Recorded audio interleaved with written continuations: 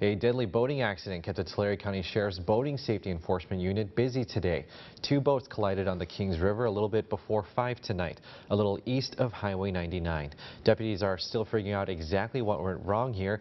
They're still looking to see if alcohol was a factor or not. Now, besides the one who died, it's not known at this time how many got hurt. The identity of the deceased is being held at this time since family hasn't been notified yet.